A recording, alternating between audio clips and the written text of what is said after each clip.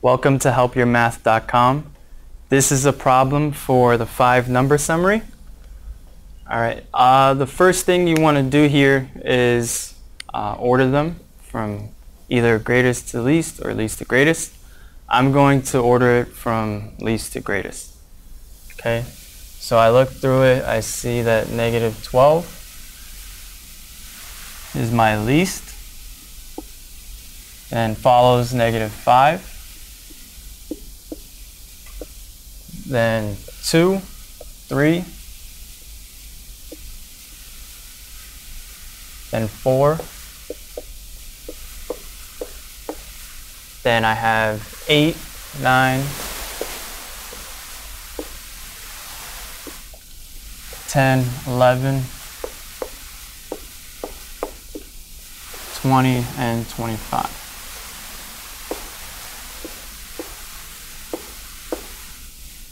All right.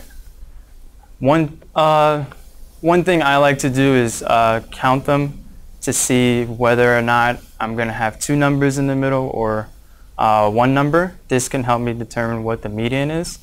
So I'm going to count it. I'm going to see how many total numbers I have. I have 1, 2, 3, 4, 5, 6, 7, 8, 9, 10, 11. So having 11 numbers is going to tell me that I'm going to have one number in the middle, which can help me easily find uh, one part of the five number summary, which is our median. So I'm going to start canceling out one, a couple numbers at a time from each side to find what my median is. I'm going to take out 12, 5, 2, 25, 20, 11. As I get closer, I'm going to take off 1, 3, and 10, four, nine. It shows me that eight right here is my median.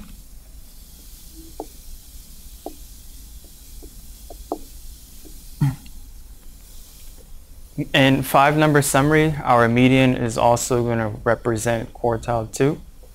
So I'm going to put Q2 underneath. Next, I'm going to find quartile 3 and 1. To do that, since it is an odd number, I don't need to worry about including 8. So I'm going to only look at one half and then the other half to find quartile 1 and quartile 3. So I'm going to use from 9 to 25 and 12, negative 12 to 4. I'm going to do the same thing as I did to find our median on each side to find quartile 1 and quartile 3. Gonna take a, I'm going to cancel out 12, negative 12, 4, negative 5, 3, and have 2 in the middle. So from here, 2 would represent quartile 1. And the same thing over here, 9, 25, 10, 20, and have 11 right here as quartile 3.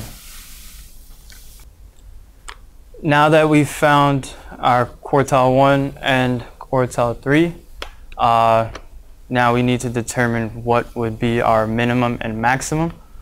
Uh, from the five number summary, we can't determine that 25 and negative 12 is our minimum and maximum. We need to first find our uh, interquartile range to help us determine whether or not that would be our minimum or maximum. To find the interquartile range, we're going to use Q3 and Q1. So, and all we're going to do is subtract Q1 from Q3. So it's Q3 minus Q1. And then, so it's 11, which is Q3, minus 2, which is Q1. So our interquartile range is 9. From there, we're going to try to find our usual min and usual max. To do that, we got to use this equation right here. It's usual min. And this would be Q1 minus 1.5 times the interquartile range.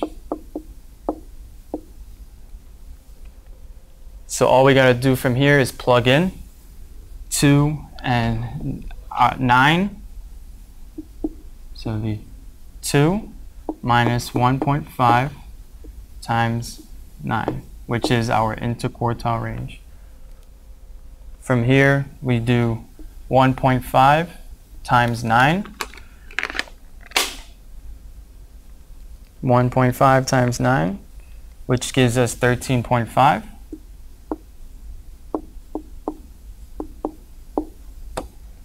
And we continue solving. So 2 minus 13.5 would give us 11, negative 11.5. This will give us our usual min. And we're going to do the same thing for to find our usual max. So this time, instead of subtracting, we're going to add. So it's going to be usual max equals Q3 plus 1.5 times IQR. And then it's 11 is our Q3 plus 1.5 and 9. We already know what 1.5 times 9 is from here, which is 13.5. So it's going to be 11 plus 13.5. And all we got to do is add this up, which will give us 24.5. So looking at our usual min and usual max, we can determine whether or not from our data what numbers will be considered an outlier. From our data, 24.5 should be as high as the numbers go. And we can see that 25 is outside of that. So that's considered an outlier. So we can say 25 is an outlier and negative 11.5 is the least it can go to. And we can see that negative 12 falls outside of that. So that is considered an outlier as well. So I'm going to say uh, 25 is an outlier. Negative 12 is also an outlier. So from determining this, we can't say that 25 and negative 12 is our minimum and maximum. So we got to move over to the next number, next greatest number, which is 20, and next smallest number, which is negative 5. Those two numbers would be considered our min, our true min, and our max. So we found Q1, Q2, Q3, our minimum and maximum, which makes the five number summary.